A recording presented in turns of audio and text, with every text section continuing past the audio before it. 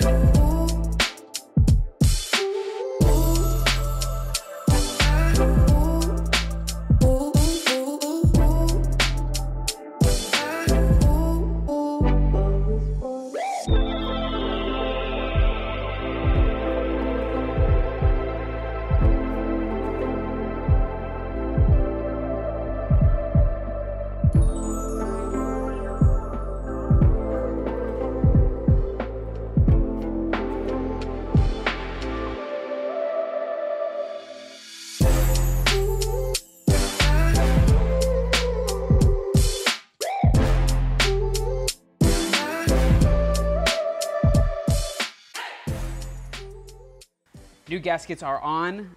New impeller is installed. We made sure the thing was spinning the right way. It is.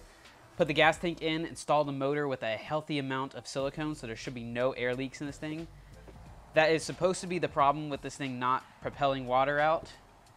Uh, if it's not that, then I have no idea what it could be. So we're really banking on this being the problem. Next, we need to finish hooking up the rest of this. I have gas lines to hook up, kill switch to install, the prime ball to all hook up. We got all that to do. The main thing I want to talk about is this hydraulic throttle assembly. This was not hooked up when I bought this, so I'm just hoping I can figure out how it works. I think it's pretty much self-explanatory. I just got to bleed it with some hydraulic fluid. It is controlled by this handle up here in the front. You press that in while you're on the board and that controls the throttle. It's pretty simple and it's not locked up or anything, so it should work. The hardest part's gonna be bleeding this thing and making sure there's no air in it. So we gotta figure out how to do that. That's gonna be the hardest part of finishing this thing up and hopefully it all still works by the time we're done because this has been a while since I've hooked it all up and hopefully it still runs. uh, I haven't started it in a while either. Took a little break again. After all is done, then we can take it down to the water and test it out. If it doesn't work, then this thing's gonna be a heavy paperweight because I have no idea what the problem could be. So we're really banking on this being it. Please be it. So let's get the hooking this thing up and finishing it up. A little bit left to do.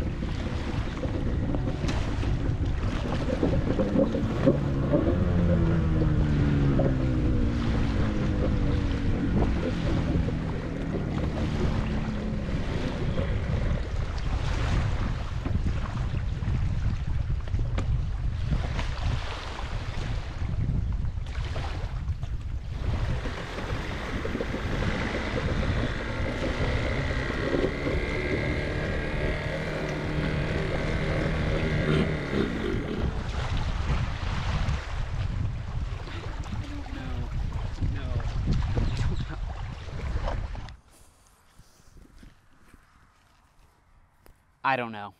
I don't know. I really thought this was to fix it, and it ended up doing the same exact thing. It tore up the impeller, so I have to get a new impeller again. That's like 200 and something dollars. It's just a lot more money than I want to spend on this thing. I'm I don't know what else to do and I I don't have anyone to ask. Parts are hard to come by. I don't even know if he has any more impellers. It's just I feel like I'm just throwing money away right now. So with that being said, I am gonna take a break on this project. I hate saying that I quit, but this has just been such a frustrating project because it just seems like there's no hope for it. Every time I try to do something, it ends up the same thing happening again, and it's like hard to find any kind of like knowledge on it because they're so old, and it's hard to find parts for it because they're so old and like rare.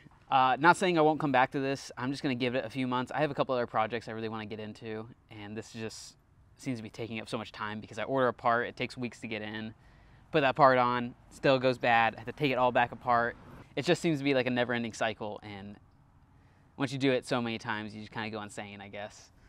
Same thing, doing same thing over and over again. expecting a different outcome. I think that's the definition of insanity. and it's not it's not working. So, taking a break on this, I don't think I'm going to sell it because I do want to try to get it working. It's just I need a break. I need something else to do. And I got to figure out what the problem is before I spend another $300 on parts that break right away. I don't know. So that is a wrap for this thing for the time being. I have a couple of other projects. I have two that I'm working on right now. I have a couple videos that are uh, should be ready to post here in a couple weeks, and uh, another and another really big project on the way. Should be here by the end of the month. Yeah, just a lot more content, more projects coming, and this thing has just been kind of dragging me down because it's just so hard to work on it. Not the outcome I wanted for this project, but it's time to move on to other things, better things. If you guys have an Instagram, you can follow me there. I post some behind the scenes on my story and some previews to what's to come. You guys can check me out there. Uh, I also have a TikTok if you want to check me out there. Uh, have one video series that is not on YouTube. You can check that out if you want to. If not, I will catch you guys in the next episode on a new project, on a couple new projects actually. And you might even be able to see some in the background of this video. Just little sneak peeks. All right, that is it. Catch you guys later. I hate this thing. Bye.